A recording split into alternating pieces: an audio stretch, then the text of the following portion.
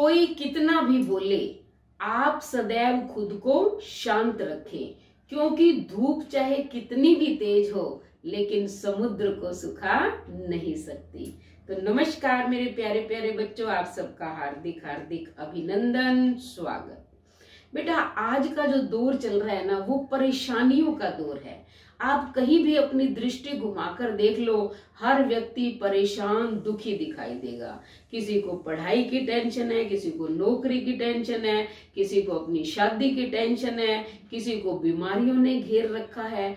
आखिर ऐसा क्यों हो रहा है? क्या हमने सोचा है? अगर हम अपना कर्म करते रहते हैं, तब जो है हमें कोई परेशानी नहीं होती है। लेकिन कर्म करने के बाद भी कई बार ऐसी परिस्थितियाँ आ जाती हैं कि हमें उनका फल अच्छा नहीं मिलता है। क्योंकि हम बहुत बार कोशिश करते हैं, नौकरी के लिए बच्चे घूमते रहते हैं, इतना पढ़ने लिखने के बाद भी उनको नौकरी नहीं मिलती है तो आप देखो फिर टेंशन तो होगी ही होगी। टेंशन के कारण फिर व्यक्ति को बीमारियाँ घेर लेती हैं, व्यक्ति का स्वभाव चिड़चिड़ा हो जाता है, किसी काम में मन नहीं लगता है, वो दोबारा कोशिश ही नहीं करता है, क्योंकि निराश हो जाता है कि मैं इतनी मेहनत करता हूँ, फिर भी मुझे इसका फल नहीं मिलता है। बहुत सारे बिजनेसमैन हैं, बिज़नेस शुरू तो कर लेते हैं, लेकिन उनको सफलता नहीं मिलती है। तो ऐसी परिस्थितियों के अंदर क्या है कि व्यक्ति को कुछ सोचना चाहिए कि आखिर कुछ तो है। जिसके कारण हमें परेशानियाँ झेलनी पड़ रही हैं।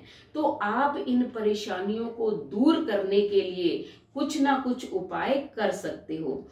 तो आपको सोचना चाहिए कि हमें मानव शरीर मिला है। जब मानव शरीर मिला है तो हमें कुछ दान पुण्य भी करना चाहिए। यानी कि ग्रह जो है, वो हमारी राशियों पर अपना प्रभाव डालते रहते हैं और समय समय पर इनकी शांति का उपाय हमें करना चाहिए। तब हमारे जीवन से परेशानियाँ दूर हो सकती हैं। अब हम कैसे जाने कि हमें कौन सी दशा लगी हुई है? वैसे ये नौ ग्रह हैं। सूर्य, चंद्रमा, मंगल, बुध, बृहस्पति, शुक्र, शनि, राहु और केतु। इनमें से भी जो शनि, राहु, केतु हैं, ये थोड़े ज़्यादा भयंकर हैं। यानी कि इनकी दशा लगने पर व्यक्ति को परेशानियाँ ज़्यादा होती हैं। अब मंगल और बुद्ध इनको भी क्रूर ग्रह माना गया है, क्योंकि मंगलवार है, वो बहुत सारे लोगों के जीवन में जो है, अमंगल भी कर देता है। तो हमें इसका भी उपाय करना चाहिए। वैसे तो क्या राशि के अनुसार उपाय होते हैं। लेकिन मैं आपको बताती हूँ कि एक ऐसा उपाय जो आप मंगल बुद्ध और शनिवार को अगर कर लेते हैं तो आपके जीवन से धीरे धीरे परेशानियाँ दूर हो जाएँगी। मान लो आपको कोई शत्रु भी परेशान कर रहा है तो उसकी शत्रुता भी खत्म हो जाएगी, वो आपसे पराजित हो जाएगा। आपको क्या करना है? इन तीन वारों को, मंगल बुद्ध और शनिवार को। कि तेल के अंदर गुड़ के पुए बनाने हैं। बनाकर आप कुत्ते को भी खिला सकते हो, गोदे को भी खिला सकते हो। तो इन दोनों को खिलाने से क्या है, आपके जो ये क्रूर ग्रह हैं, वो आपकी राशि पर शांत हो जाएँगे और वो अच्छा मंगल प्रभाव डालेंगे। यानी कि जो जो उनका प्रभाव होगा, वो शुभ हो जाएगा। अब तक तो अमंगल या मंगल हो रहा था। तो मान लो आपको कोई परेशानी किसी समय नहीं भी है, फिर भी आपको महीने या दो महीने में ये एक उपाय कर देना चाहिए। क्योंकि हम इतना कमाते हैं, किस लिए कमाते हैं? क्या कुछ दान पुण्य नहीं कर सकते हैं? दान पुण्य के साथ साथ इन ग्रहों की शांति के लिए भी हमें, क्योंकि ये बहुत ज़्यादा करडे, यानी कि आम बोलचाल की भाषा में इनको करडे वार बोला गया है और करडे ग्रह नक्षत्र बोला है। और ये तीनों जब अपना प्रभाव डालते हैं, यानी कि राहु, केतु, शनि और मंगल तब जो है व्यक्ति बहुत ज़्यादा संकटों से गिर जाता है। तो आपको ये उपाय करना है। आप ये मत सोचना कि मैं आपको उपाय बता रही हूँ। मैंने भी जो है, ये कई बार उपाय किए हैं। आज भी शनिवार है तो ये देखो, मैंने पुए बनाए हैं। और ये मैं आपको थाली में डालकर जो है दिखा रही हूँ। ये बना लिए हैं। अब मैं क्या करूँगी? इनको थैली में डाल लूँगी। और थैली में डालकर फिर इनको हमारे यहाँ भगत सिंह गेट है, क्योंकि आजकल गोदों की एंट्री थर्मल के अंदर कॉलोनी में नहीं है।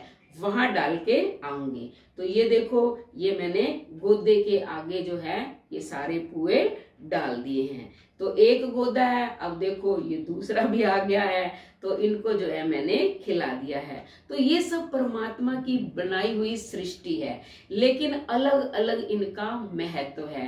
तो शनिवार, मंगलवार और बुधवार, आप ये पुए बनाकर गोदे को खिलाएँ, कुत्ते को खिलाएँ गाय को भी खिला सकते हैं। गाय का महत्व तो क्या बृहस्पतिवार को ज़्यादा माना गया है।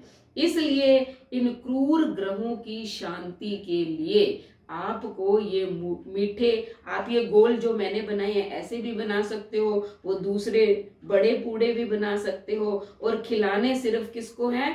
कुत्तों को और गोदों को। आप कुछ ही दिनों में देखना कि इनका प्रभाव ऐसा आपके जीवन पर पड़ेगा कि जो परेशानियाँ, संकट, मुसीबतें आपके जीवन में थी, वो धीरे धीरे दूर हो जाएँगी। तो ठीक है बच्चों, आप ये उपाय करो और टेंशनों से मुक्त हो जाओ। तो कैसा लगा ये मेरा उपाय? अगर आपको ये उपाय करने से थोड़ी सी भी शांति मिलती है तो प्लीज़ आप मुझे कमेंट बॉक्स में जो है ज़रूर बताना अगर आपका कोई कार्य सिद्ध हो जाता है। लेकिन आप ये कार्य करना पूर्ण श्रद्धा और विश्वास से, क्योंकि आपकी श्रद्धा और विश्वास जो है, वही आपको मुसीबतों से छुटकारा दिलाएगी इस उपाय को करने से। तो फटाफट चैनल को सब्सक्राइब कर दो, लाइक और शेयर करें, कमेंट करें, बेल आइकन के बटन को दबाएँ ताकि अगली वीडियो का नोटिफिकेशन सबसे पहले आपको मिले। धन्यवाद।